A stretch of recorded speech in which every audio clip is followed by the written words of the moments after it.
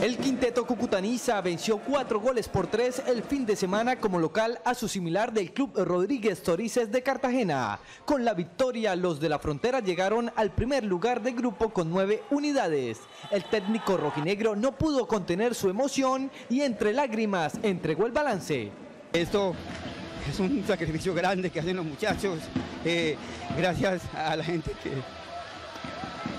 que viene, que nos apoya, que que está con nosotros, que, cree en este proyecto que ya está dando resultados. Eh, ya nos montamos de primero, después de estar hace dos semanas de últimos. Eh, la verdad, dándole muchas gracias al público, a Dios. El estratega cucuteño agradeció el empuje y la garra que han mostrado sus dirigidos a lo largo de la Liga Argos. A pesar de trabajar con poco apoyo, el quinteto rojinegro ha demostrado el compromiso y respeto por la ciudad.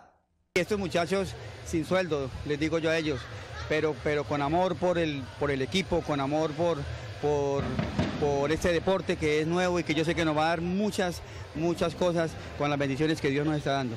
En esta versión de la Liga Argo solo pasan dos equipos por grupo. El primero es Cucutaniza con nueve puntos, mientras que la segunda plaza la ocupa Independiente de Barranquilla con siete unidades.